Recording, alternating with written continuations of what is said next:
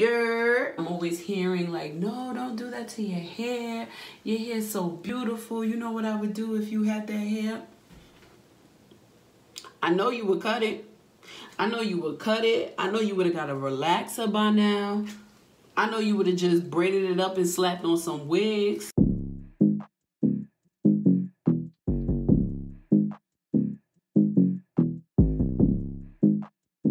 What's up, gang? What up? What it do? What it do? Update on my hair. Trash.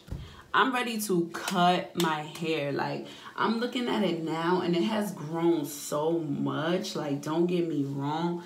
But my ends are hideous. My ends are hideous. I did a wash and go for, I think, I believe like a good week.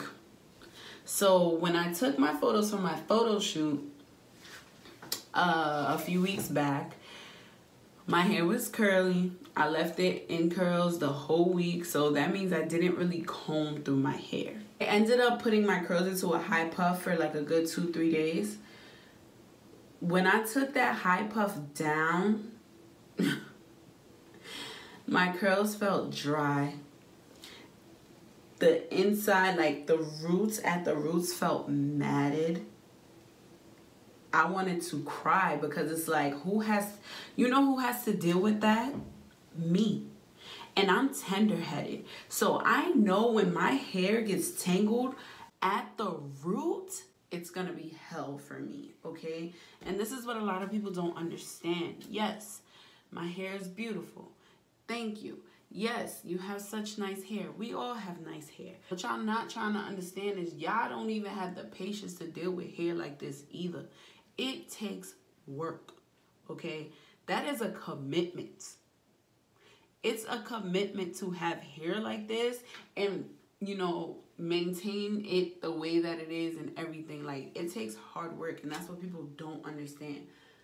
Anyway, I had my little spray bottle. I had to put deep conditioner in it. I had to put conditioner in my hair before I sprayed it to loosen up the hair a bit because I had to comb it out and boy when I tell you it didn't it didn't hurt as much as like combing through dry hair but it still hurt because my hair was tangled from the root usually your hair's just tangled from the ends and as you go it loosens up. No. Like it was getting worse. It was easier to comb out the ends but as I was going up but anyway. Anyway, I made it past and now I'm just deep conditioning it for a bit. I'm real life supposed to be in bed resting for work tomorrow, but telling y'all, man, this is a commitment. This is a commitment. When you gotta compromise, work with something that you passionate about. What I'm passionate about is having a good head of hair. I'm passionate about my hair, okay? My hair is my baby, but not only that, I'm passionate about looking good. So Nobody else takes care of my hair but me. So me has to do all the work. Like see for instance this this section of hair wasn't all the way comb like detangled because I couldn't take it no more. Like once it got to the root, I just couldn't take it anymore. So at the root it's still it's still pretty much tangled, but once my hair is underwater, like it'll loosen up and I could be able to pull push the comb through. But yeah, that's how bad it is, man. And people don't understand it. It's like I appreciate the compliments, thank you. Cause listen, I work hard. I work really hard for my hair to look good, but what y'all this is this is the process. This is the process. These are things that you have to do to have that gorgeous head of hair that people love so much. And this is not me bragging, it's just the truth. Like, I'm always. So, really quickly, I rinsed out the honey and olive oil out my hair. Um, my curls feel like a little tighter using that treatment versus like just deep conditioning my hair with some conditioner. Um, what I use to cleanse my scalp because I'm trying to keep from using shampoo. I'm trying this Camille Rose sweet ginger cleanser. Out of like a 10, I would give it a 8 for the simple fact that like I thought because it had ginger in it, it would give my scalp like that tingly feeling because I Ooh, I love that feeling on my scalp. I love it so much. But I guess because it's sweet ginger or it's not that heavy of ginger, it doesn't um it doesn't give that feeling. But overall, like it does rinse out the dirt from my hair, which I really do appreciate without really drying it out. It is the Miracle Moist conditioner and it has avocado and Australian jojoba oil in it. So I really like this because the slip that it gives my hair when I need to detangle it in the shower, amazing. I'm about to show you the hair that came out while combing. I really thought it would be more, but it's not. Um, it is a lot for the fact that my hair was only in curls for a week.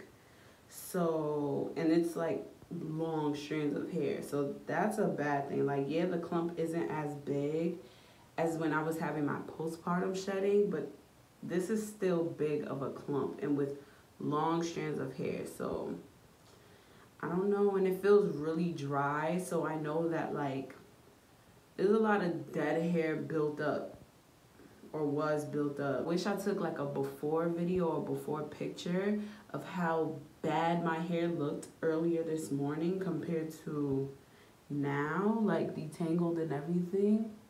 Just crazy. Terrible, but I'm just glad that it's detangled now. I think I'm about to put it in two braids. I'm gonna moisturize it. Um, after I wash my hair, I always moisturize my scalp with black castor oil always. I use a dropper. I put it on my scalp, massage my scalp for about a minute or two. And then throughout my hair, I'll just put oil or hair grease. Um, something to like just keep it moisturized, especially because it's colder now. Like it was nice a few days ago, which is why it was cool to leave my hair out in curls. But now like the air is really cold and it's getting really dry. So I know my hair needs to be heavy, like heavily moisturized, which is why I decided to use olive oil as a part of my deep conditioning because it's such a thick oil that it'll keep my hair moisturized, right? Versus like coconut oil. This is what the curls look like. Very rich. They're very tight. So I like I like that. Um, my ends don't feel as dry, but they're still dry nonetheless. So Sadia just might. I just might have to clip clip that hair off, but I wanted to come on here and show you what it was looking like because I know people like to see results. I love to see results when I'm watching videos. So those are my results after deep conditioning with honey and olive oil. Only thing special that I did was warm up the honey just so that, you know, it gives like this runny consistency as I'm putting it in my hair versus it being really sticky and hard to put it through. Like when it's warm, it's easier to just put it in my hair, whatever. If you want, you can also uh, add your conditioner, add your deep conditioner, your hair mask or whatever you like to use when you deep condition your hair. You can add that into the mixture and then just put it in your head and let it sit. I let it sit in my hair for 30 minutes only because um, I remember one time I read somewhere that leaving honey in your hair for too long is bad. Like it kind of dries out your hair if you leave it in too long. So I just did 30 minutes. So I would recommend 15 to 30 minutes depending on your hair texture or like what works for your hair. Hey, hey, hey, hey, hey, hey, hey, hey. Um, guess who finally finna do something to this hair, y'all? I've been looking like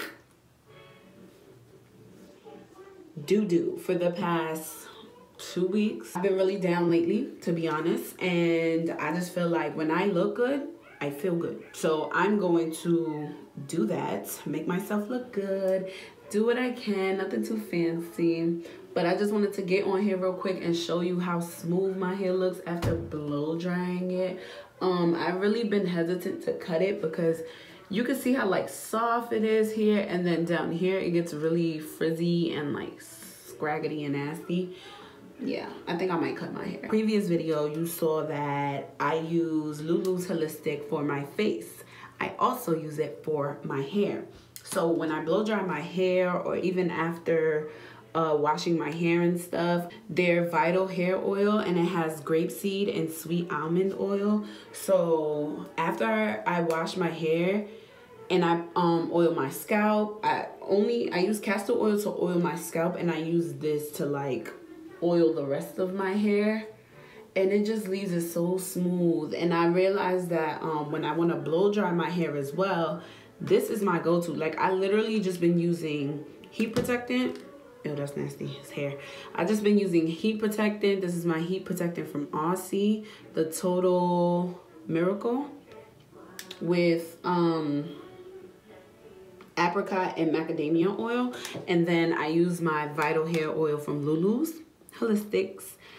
This is all I've been using. And look how smooth and soft. Get your hands on this. They also have a scalp treatment I'm thinking about using because I'm I want to try something else for my scalp. I mean, castor oil works, right? But I always want to try like other oils and stuff.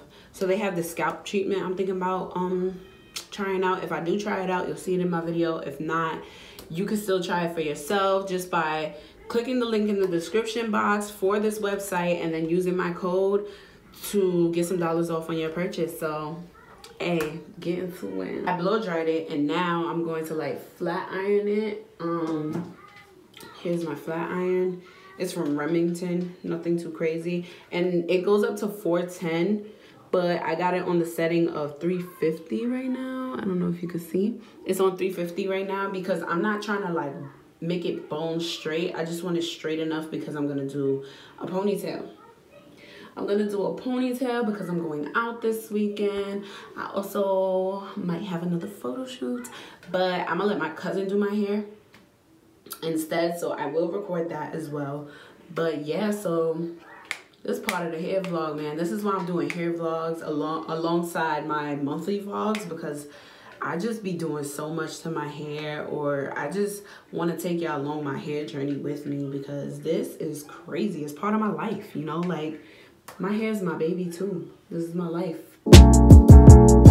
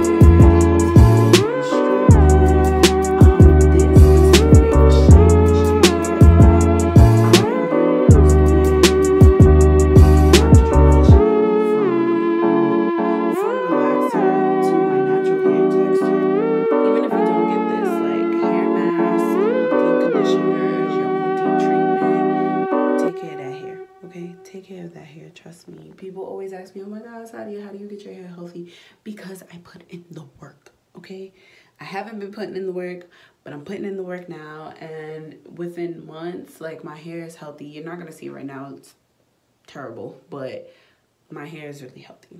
Just Okay, so this is the final look for the month for me. Um, I put my hair into some jumbo box braids. It's not knotless. It has the knot on top. It's colder. I don't want to do wash and goes. Don't want to have my hair out. It can't stay straight as you guys seen. So I figured why not just put it away in some braids. Looking in the mirror, they're pretty long. If I move them to the back, they're past my butt. Um, the braids came out nice, but as always, I have issues like perfecting the ends of my braids. I'm gonna figure out how to fix them, but yes. Okay guys, so this is where I'm cutting off the hair vlog. Thank you so much for being a part of the never ending hair journey, crazy experience of my hair. Um, I've done a lot to my hair. I've learned a lot about my hair. I've noted what needs to be done in order to continue taking care of my hair, which you will see in videos to come. It doesn't end here, trust me. I kind of like doing these hair vlogs as well, so you'll see more of this on my channel. Thank you for tuning in. Subscribe if you haven't, because what are you doing? Like, come on. Hair is getting better. You can learn a lot. You can teach me a lot. So come on, join the gang and let's just you know, let's become family, pretty much, is what I'm trying to tell you. Give this video a thumbs up if you like it and would love to see more. If you would like to share it to someone, please do. Once upon a time, I used to do my hair all the time. So that's kind of my goal for the new year, to just have my hair done pretty much often. I used to like lock myself in a room all day and do my hair. I can't do that no more. So it's pretty difficult. I feel like instead of taking a whole day, it'll take me like two, three days to finish my hairstyles. And even with that, I still won't go to a salon. It is what it is. I just, I just like doing my hair. So yeah, if you have any requests or any styles that you would like, me to do to my hair. Some styles, honestly, I might actually go to a uh, go to a salon to see how someone can do my hair. But for the most part, I'll try and do it myself. If I can't, then I'll reach out for help. What it's like to deal with my grade of hair, which I really don't know. So put that in the comments below for me, please. I'm kind of embarrassed about that. But help me. Help me figure out my grade of hair. Because I know one side of my head is a different texture from the other. Thank you. Thank you so much. And we'll see you in the next hair vlog or in the next video. I could be in the video coming right after this one. So thank you. Thank you so much. And I'll see you soon. Peace out.